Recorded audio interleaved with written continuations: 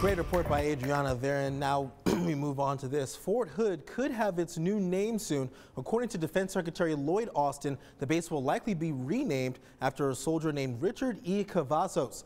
Cavazos was Texas's first Hispanic four-star general. He's well known for his heroism in the Korean War, where he ran back onto a battlefield multiple times to save several wounded soldiers. The renaming of Fort Hood is a part of the national program designed to rename bases originally named after Confederate leaders.